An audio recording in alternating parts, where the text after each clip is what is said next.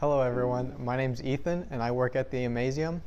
And since we know a lot of you guys are having to stay at home right now, we thought we'd share with you some of our favorite activities that we like to do that you can do at home with your family.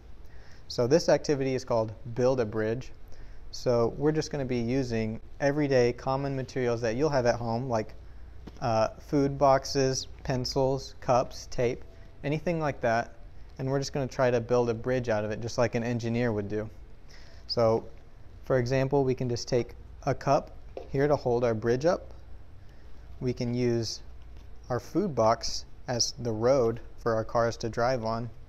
And then on the other side, we can just have some pencils to hold it up. So first, let's get our pencils in place to support our bridge and make sure it doesn't fall down.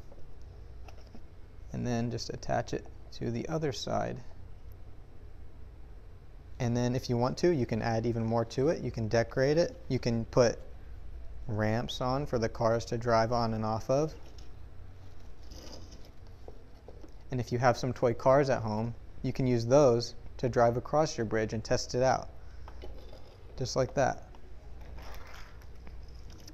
And you can use anything in your house, anything that you think would make a strong bridge, and just have fun with it. And if you do end up building your own bridge, tell us about it on our Amazeum page and have fun.